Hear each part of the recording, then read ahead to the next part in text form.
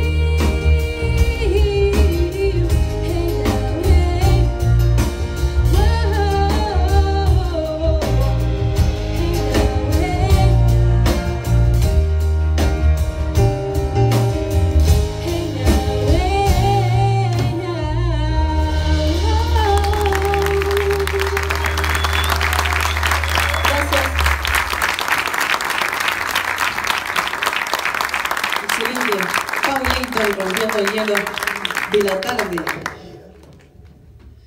Bueno, y ahora le voy a dar la bienvenida a un dúo hermoso que conocí